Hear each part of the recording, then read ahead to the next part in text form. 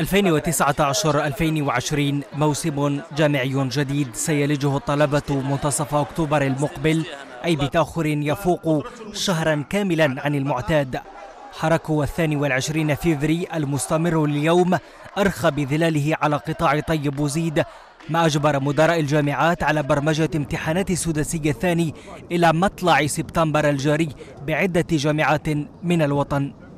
الكثير من من الطلبة خصوصا بجامعة باب الزوار والعديد من الجامعات أنه الامتحانات السداسي الثاني هي مع بداية هذا سبتمبر وحتى تكملة الدروس للسداسي الثاني وبالتالي تاخر الدخول الجامعي إلى منتصف أكتوبر أو إلى غاية نوفمبر هو تحصيل حاصل من هذا الجانب.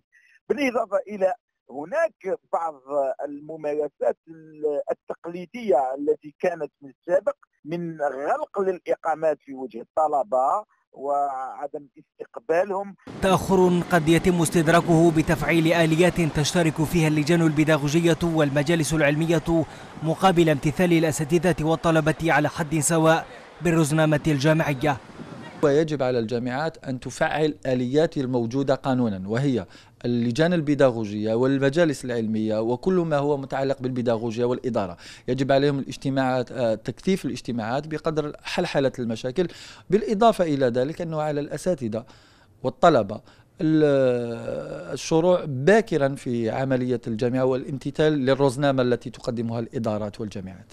حلول وأخرى كتمديد ساعات التدريس إلى وقت متأخر من المساء قد تساهم بسد فجوة تأخر الدخول الجامعي التي ستتكرر كل موسم ما لم تتحرك الوزارة الوصية لإيجاد حلول واقعية.